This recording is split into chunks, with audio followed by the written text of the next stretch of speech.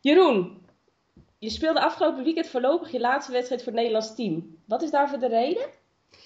Ehm, ja, de reden is dat ik ehm, eigenlijk kort gezegd na 11, ruim 12 jaar eh, met het Nederlands team, met jeugdoranje en jong dat ik eh, winter en zomer achter elkaar heb gedaan. eh, ja, tijd voor mezelf nodig heb. Mhm. Om eh, mentaal en fysiek eh, alles weer eventjes op een rijtje te krijgen. En eh, daarbij komt ook nog dat over een week of drie, vier komt de tweede kleine eraan. En ehm, ja, nu komt het gezin eventjes op één. Dus ik heb ervoor gekozen om een wat langere periode achter elkaar vrij te nemen. En zo gekozen om maar drie weekenden van de World League te doen. En nu twee maanden, twee maanden vrij te nemen. Vind je dat spelers de vrijheid moeten hebben om een rustperiode in te lassen, als dat nodig is? Ja hoor, ik denk eh, mits het natuurlijk eh, in goed overleg is met, eh, met staf en met spelers. In het geval van mij was dit overleg er in, in januari al geweest. En ik denk dat die vrijheid er best moet zijn. ehm, omdat je denk ik het beste, ja, het beste iemand nodig hebt die, eh, die 100% eh, daar fit is en, eh, en aanwezig is. Ja. En als iemand daar moe of, of fysiek niet in orde is, dan, dan moet daarna gekeken worden wat daar de beste oplossingen voor zijn. Dus in dit geval was dat rust. Dat geldt niet voor iedereen, maar ik denk, ik denk dat dat absoluut wel toelaatbaar is. Je laat je team op een wat lastig moment achter. De resultaten zijn natuurlijk wat wisselvallig. Er heerst wat onvrede in de groep.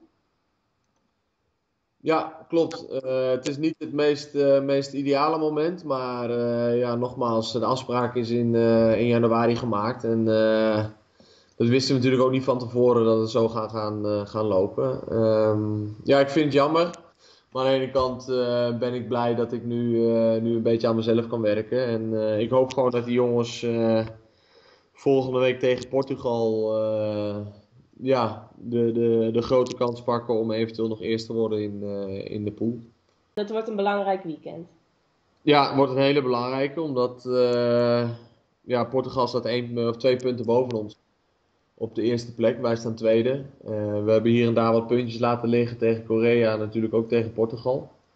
Maar mocht je twee keer winnen tegen Portugal aankomend weekend, dan heb je gewoon een hele goede mogelijkheid om, eh, om de Final Four te spelen in, eh, in Australië. En ik hoop ook van harte dat, eh, dat die jongens na dit weekend in Tsjechië eh, de positieve vibes meenemen naar, naar Portugal. Denk je dat het extra vertrouwen heeft gegeven? Nou, dat denk ik wel. Het, het, het vertrouwen in de groep was laag, omdat er natuurlijk een aantal verliespartijen waren geweest, ook op belangrijke momenten. Op het moment dat je kijkt dat je, dat je een paar potjes achter elkaar wint, dan zal je zien dat, dat, eh, dat het vertrouwen gaat stijgen. En eh, afgelopen weekend hebben we het gewoon goed gedaan door, eh, door vijf van de zes punten te pakken. Dus daar zal zeker een, een stukje extra vertrouwen aanwezig zijn. En eh, ja, ik hoop dat ze dat door kunnen zetten. En jou zien we volgend jaar weer in volle beschikbaarheid terug met het Nederlands team?